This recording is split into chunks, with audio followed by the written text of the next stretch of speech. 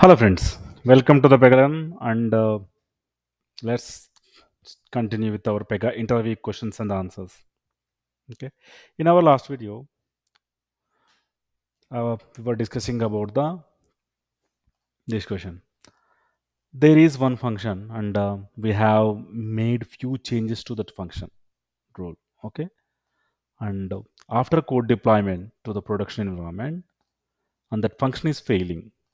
Have you ever get this issue? And what do you think? Like how can you fix this one? What do you think about that one? So if you are if you are asked this question like this what is your answer? The answer is yes whenever there are changes to the function there is a probability that it get failed it might not work. So we can generate the library and function to start it working. Okay i'll show you like uh, i'll open one function records technical function. Let me open one function. This is one function. When i go to the java med tab here here if you see there is this is a generate library and generate function. So when we click on generate library library will be regenerated and then when we click on the library function after clicking these two buttons like it starts working okay? You can answer like that. We can regenerate them. To start working. Okay? That is the question.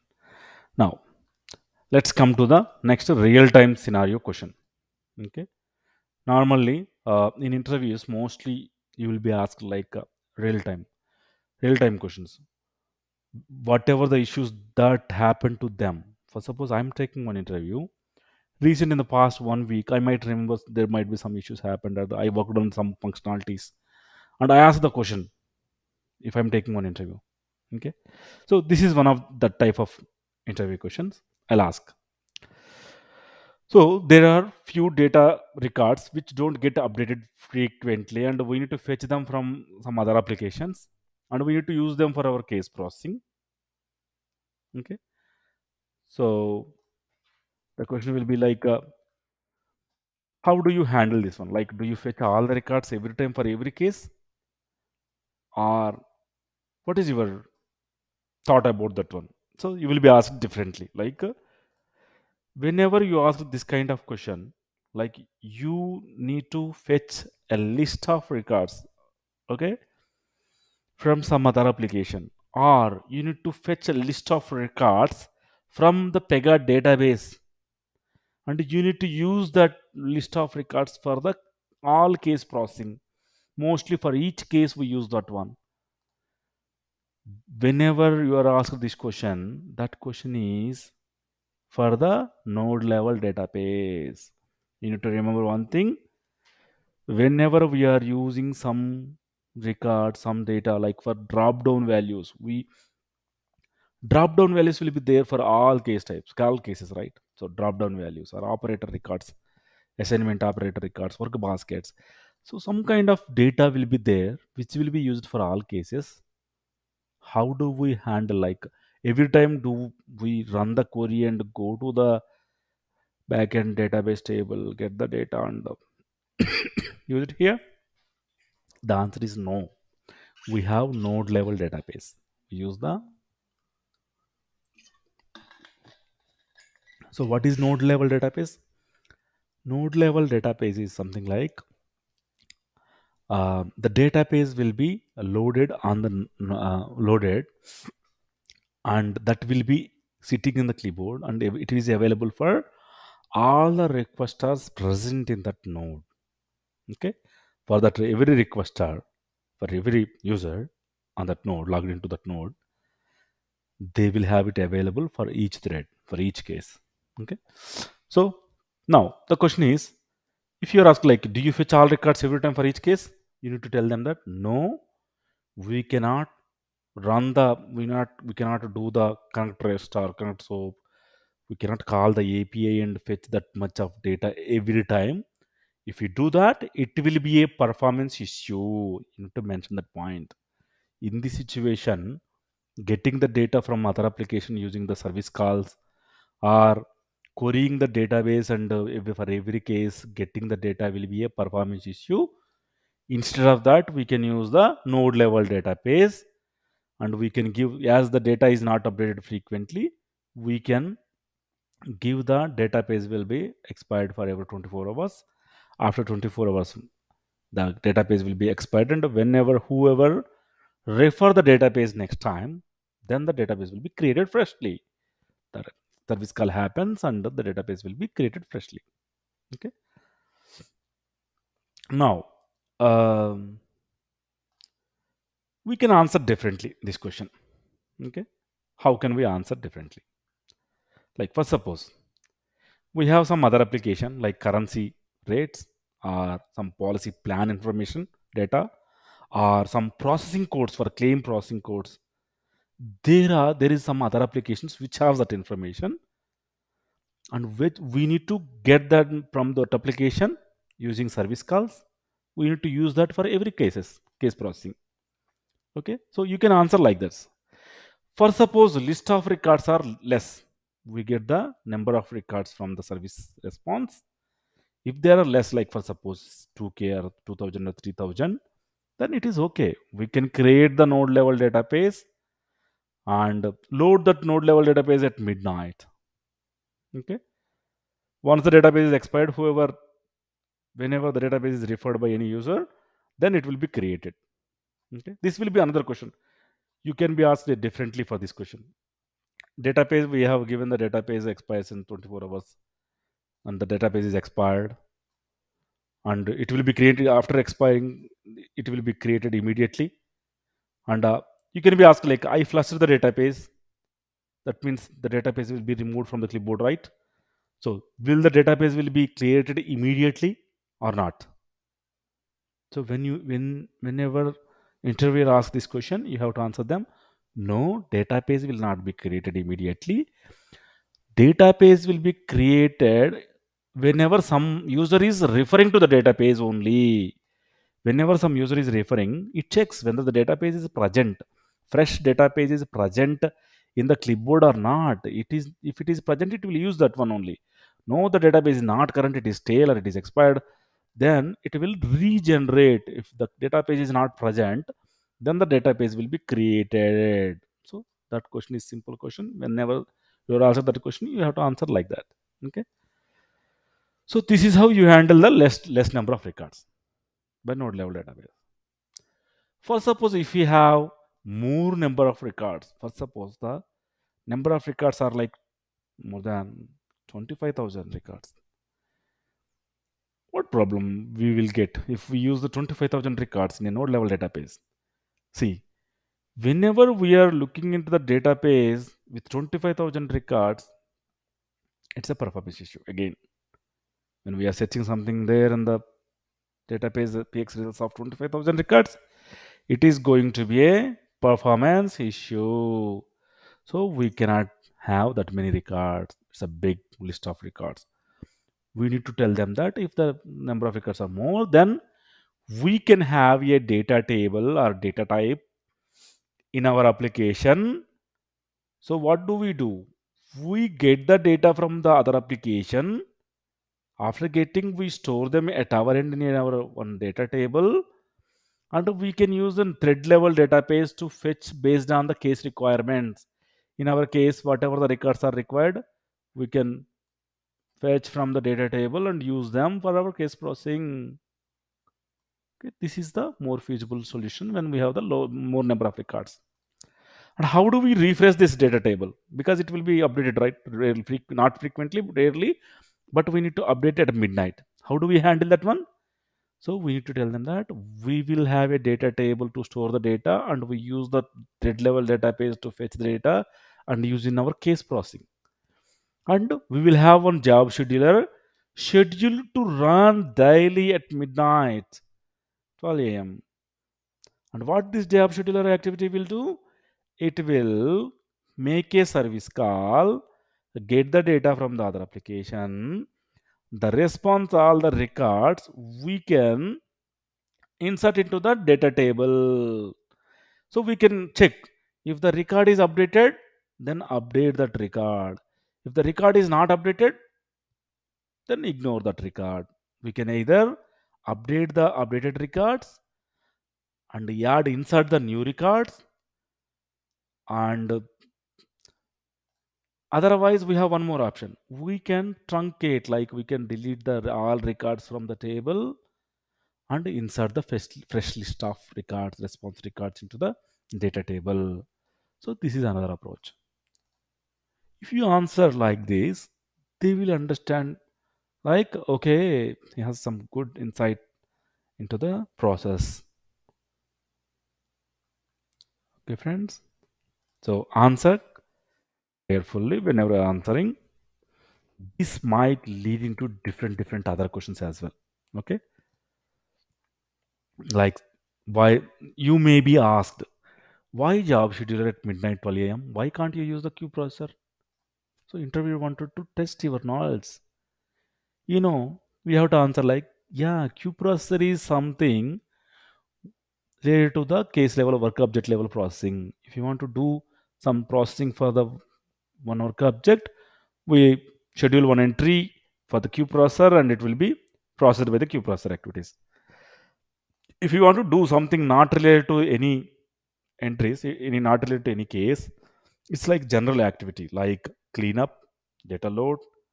Some generic work has to be done at that point of time. Then we use the job scheduler. Okay so you have to answer like that.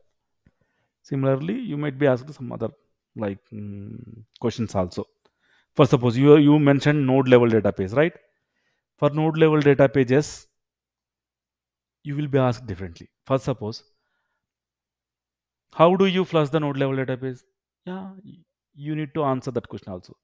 See node level database generally what do we do is whenever there are some changes if you want to flush the database we can open the database and go and clear the flush the database. We can do the flush database. So i'll open and show you. On data suppose database address list something.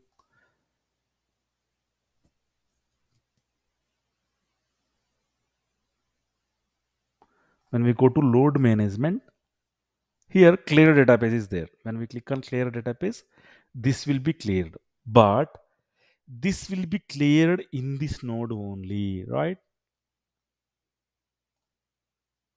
Not on all the nodes. Nodes means servers. So normally when you log in using the VIP URL VIP URL that means load balancer URL it sometimes it clears all the databases. Otherwise we have one function to clear all the flush all data pages and from all nodes. We can use the function to flush the database from the all the nodes. So this is one answer. And it, it cannot be sim just restricted to that question. You will be asked differently. For node level database which access group it will be used?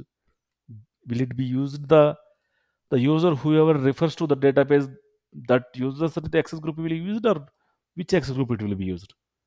That is one more question. You will be asked one more question. Maybe if you are asked that question for node level database the answer will be for node level database we need to provide the access group.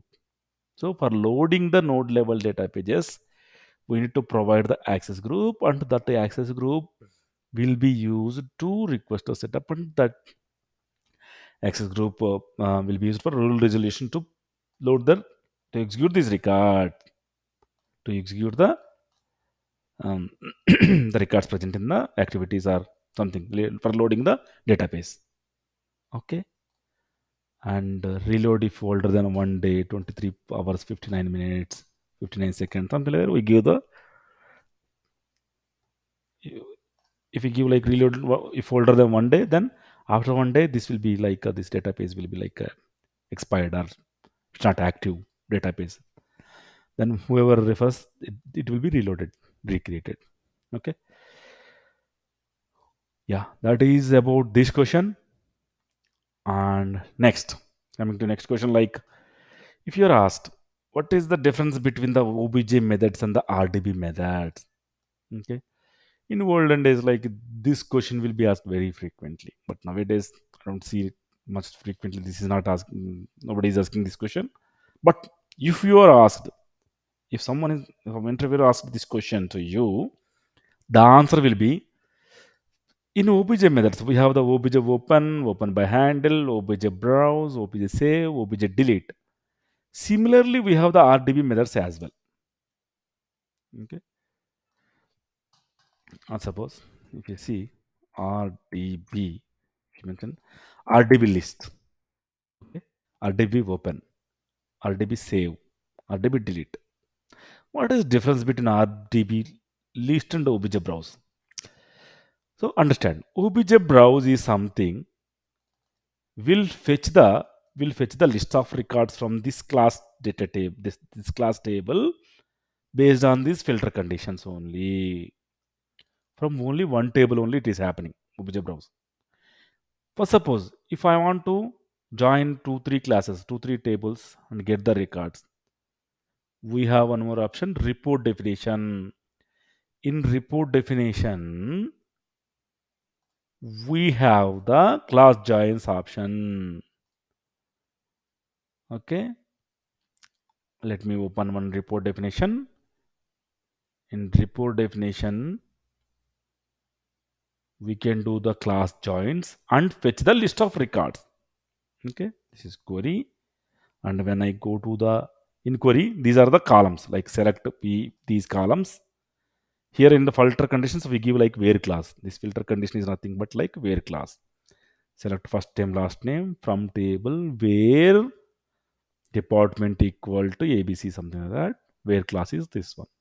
If i want to do the joins we can come here in the data access tab. There we can give the class joins. We can either do the class joins or associations and declare index joins. Or we can even give the sub reports sub reports is nothing but if you know the sql we have the sub queries select first name last name from the employee table where employee id in in brackets we give one more query the query results will be used in the where condition of the main query. That is nothing but that sub query we have option in pega like a sub reports. Okay so this report definition will be used to fetch the data from list of records from multiple tables using the joins. Okay but even the query is complex more complex then we will go for the rdb methods. You need to answer like if the query is simple from one table obj browse If query is a little complex from doing the joins we go for the report definition if the query is more complex, which we cannot achieve using the report definition or the obj browse or obj open, in that situation, we will go for the RDB methods. So RDB list, we use the RDB list method to fetch the records, list of records from the complex query. For that, for RDB methods, we need to give the provide the connect SQL rule.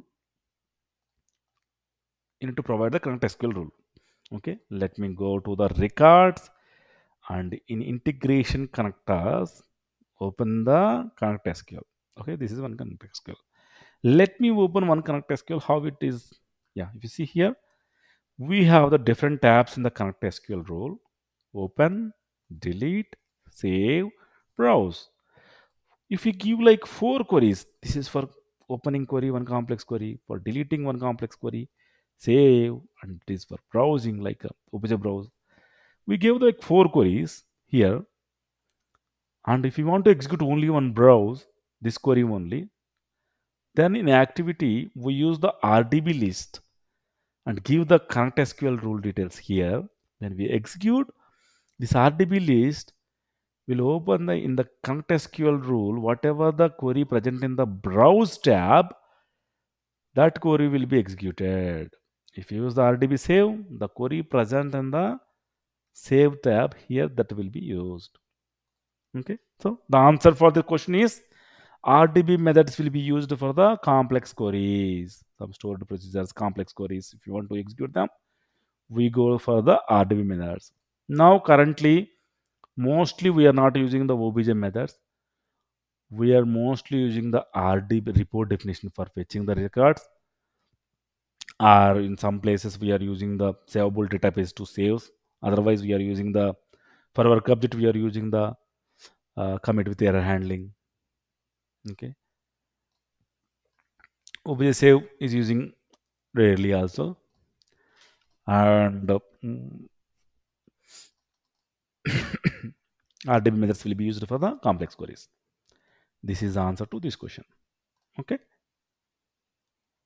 Next. Next question are like uh, what are the different types of activities? Okay? So for this question when we go to in the activity when i go to the security tab okay? If you see here activity type is there. By default it, it will have the activity activity type okay? So when we click on this here we have different types of activities. So this is the question they are asking. Why do we have these many types of activities? And which type will be used for what? That is their intention. Mostly we don't need to you don't need to remember all these types. Only remember like four five and answer them like i remember these types and we will use this one but learn about the each type. If something for suppose activity is nothing but like a activity other than all these types. And we use utility. Most frequently we use the utility. Utility in flow we have a utility shape. That means in the flow processing if you want to execute some activity some logic has to be executed then we create an activity. We give the type as utility and we in flow we gave the shape utility shape and mention refer this activity. So in the case processing in the flow processing that activity utility shape uh, utility type activity will be executed. Okay? Utility you can mention utility. And trigger we we have the declare trigger right? Declarative de trigger. In declare trigger rule the activity that we give is the trigger type and we have the declare on change. For declare on change we have the on change type activity. Notify. For notify in flow we for notify shape we give the notify activity. And route. Route is in assignment shape. For the case should be routed to either work list or work basket that kind of that kind of logic execution can happen in activity. And we call that type of activity as a route activity so this will be on the flow assignment shape. We give this route type of activity. Assign also same like assign in flow assignment shape we give assign type of activity. And asynchronous like parallel processing load database we give this. Rule connect for integration rule connects we give rule connect type of activity. For validate we give the validate activity. So these are the different type of activities but you don't need to remember all you can mention like utility activity declare trigger trigger on change. And uh, you can mention like route. That's it. Those are sufficient. We use those only mostly. Remaining all if you ask like why do you use the validate? So do the some kind of to execute some kind of validations we can create the activity of type um, validate and do the validations on the work object or on the record.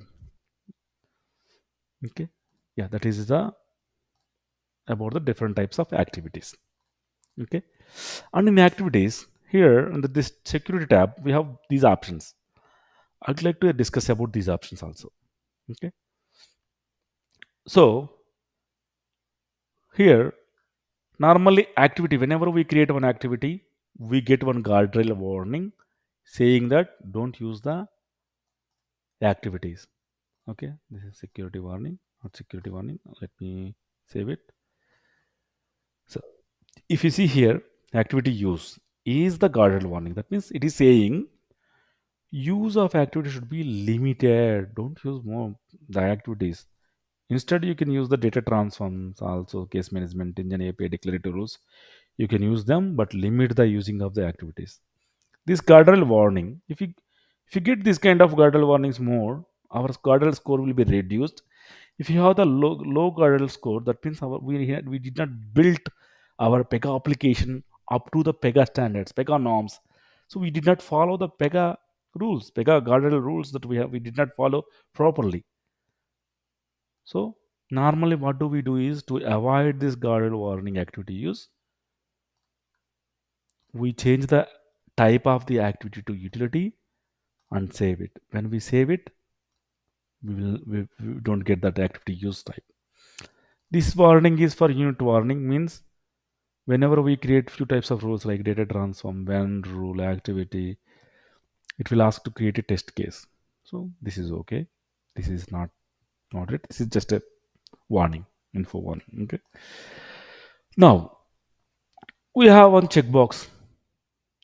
Okay. For suppose here require authentication to run. If I unselect the checkbox, don't I don't need the authentication to run this activity then we get one more guardrail warning. It says to prevent the unauthenticated access, you need to check the checkbox. So I select the checkbox so that without authentication, this activity will not be executed. We have one checkbox here. Okay. Allow invocation from browser. If you want to execute this activity directly from the browser, we can allow it here. Okay. When I save it, see, we are getting error here in latest versions Earlier we get the guardrail warning, not error. Now it is not even allowing. What it is saying? To invoke, you need at least one privilege. Should be secured with a privilege. Privilege is nothing but like one ticket you need to have to um, watch the movie. If you want to enter into the movie, you need a ticket. Something like that. If you want to execute this one, you need to have this privilege. Okay.